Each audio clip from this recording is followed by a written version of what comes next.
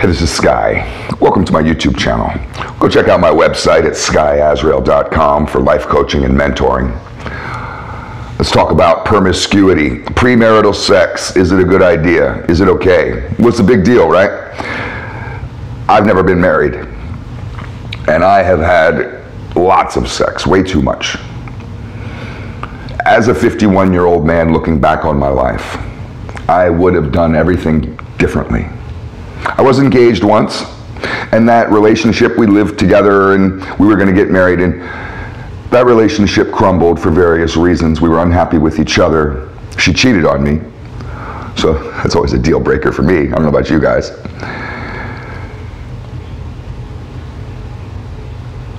And I realized that sleeping around and going through that, what feels like a necessary experimentation stage of being free and self exploration and learning what you like and all that when you're younger and sleeping around, that I realize that that's rather unnecessary and not just unnecessary, but somewhat harmful, harmful to the psyche. I mean, it could be dangerous. Sleeping around can be dangerous, particularly for women.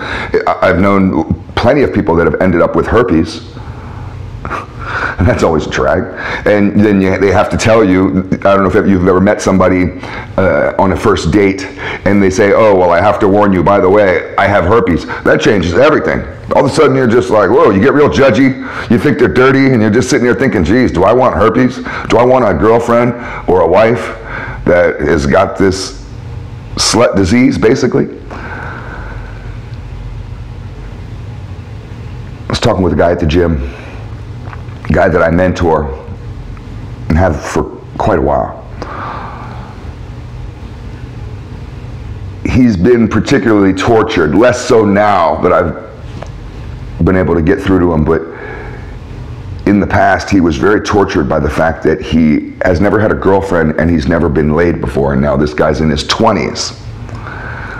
And he feels like he has missed out on a rite of passage of manhood. He doesn't even feel like a man in his own mind because he hasn't gotten laid. And I've been telling him, look, man, you are in the perfect position. You are going to be a great father. Your family, should you be blessed to have one someday, will be a tight unit. And this has been studied.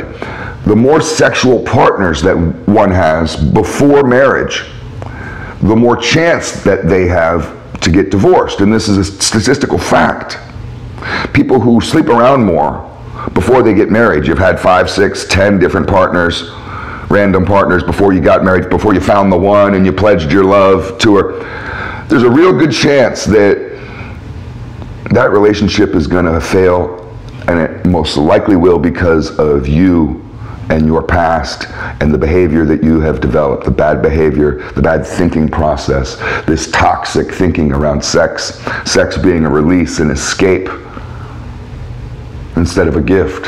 Sex turning into a self serving activity instead of a, a, a, an experience that you're giving to your, the person that you love the most.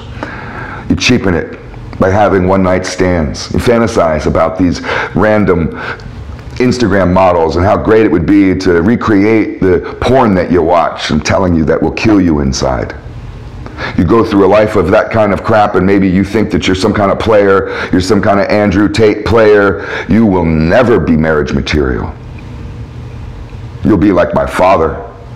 My father was married six times and always said, he died before the seventh, was murdered before the seventh, but he always said, oh, the seventh is going to be the one. And I would laugh at him and I'd be like, motherfucker, you said that about the third one. You said that about the fourth one. Can't just blame it with him all on the fact that he slept around before marriage. However, when we do this, when we engage in premarital sex and a life of promiscuity, of sleeping around before we get married, it really does have devastating effects, profound effects.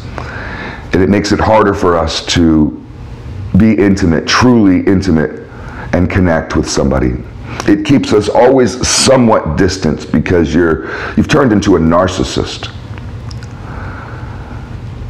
So I suggest for a lot of you guys out there that are struggling with this, you really desperately want to get laid, is to try to shift your thinking, your outlook, and to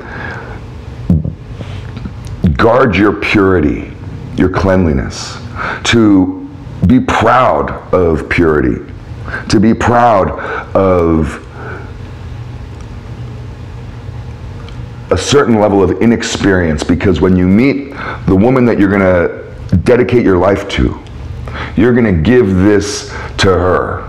I haven't plowed any other chick. No other chick has received my seed. I'm not putting it on their tits or on their ass. You're getting it. You're the first and the only. My grandfather has only ever kissed one woman, and that was my grandmother. He had never put his lips to another woman other than my grandmother. He had never touched another woman's tits, never felt any other set of tits than my grandmother. He had never fucked another woman, ever, other than my grandmother. Not when he was in World War II, off on leave, when you guys go to prostitutes. Oh, I've heard the prostitute stories of you military guys. Not my grandpa. My grandpa was a good boy, dedicated to my grandma. He's never been, he's never even held hands with another woman. That's the way it's supposed to be. I know it sounds a little lofty and righteous, but sometimes I can be that way. Thanks for watching.